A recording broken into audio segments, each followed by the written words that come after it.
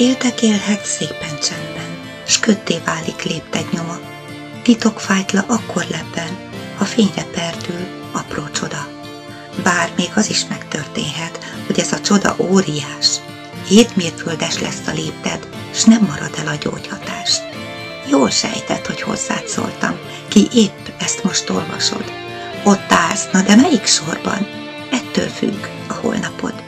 Az egyik sorra árnyék vetül, abban állnak a hitetlenek. Az vagy kívül, mint legbelül, erre mérget én nem veszek.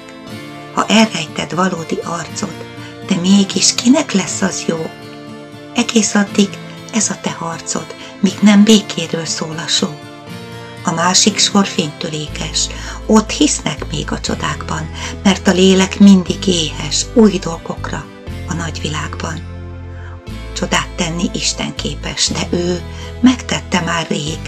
Az elmélet ittán téves, s a többi csoda ránk vár még. Azt mondott, csoda lenne, ha nem bóklásznánk célkeresztben, valóra válna Isten terve, élnénk békében és szeretetben.